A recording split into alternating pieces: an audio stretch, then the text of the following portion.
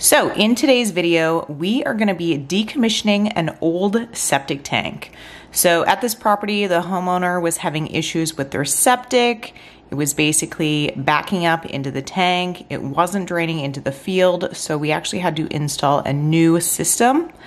So this is the old tank, so we're just basically crushing in the lid so we can eventually fill it in with some fill. It's a pretty old septic tank. It was actually cast iron going into the septic tank. So we've had to change out that pipe and we've actually had to change out the pipe going into the homeowner's home as well.